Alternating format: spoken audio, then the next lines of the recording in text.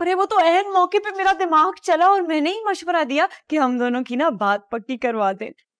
क्या बात है नाजो तुम्हारी। ये जो तुमने एन मौके पे चौका मारा है ना मज़ा आ गया इसका कसम से। अरे इससे मुझे एक शेर याद आया है। सुनाओ।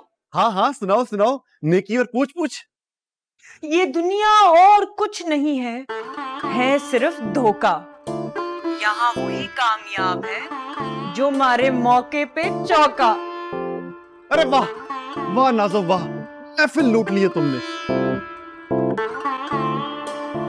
फिर जानी मैं बहुत खुश हूँ। अगले हफ़्ते हमारा निकाह भी हो जाएगा। मैं भी बहुत खुश हूँ नाजो। वैसे मैं सोच रही थी कि मैं तुम्हारी अम्मी से मिलने आऊँ। मेरी अम्मी?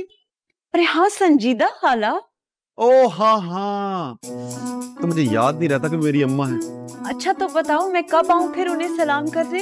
अरे उन्हें सलाम करके तुम्हें कितनी रकात का सवाब मिल जाएगा? दफ़ा करो। जानी वो मेरी होने वाली सास है। अरे होने वाली है ना? हुई तो नहीं है अभी। जब होंगी तब सलाम कर देना। और वैसे भी ज़्यादा खुश नहीं है हमारी शादी से। तो उन्हें खुश करने के लिए हमें क्या करना होगा? इग्नोर हाँ। हाँ इग्नोर खैर अब मैं सोने जा रहा हूँ। सुबह मैंने स्कूल भी जाना है। मैं अपनी पढ़ाई के साथ ना और समझौता नहीं कर सकता। चलो, ओके, अल्लाह हाफिज।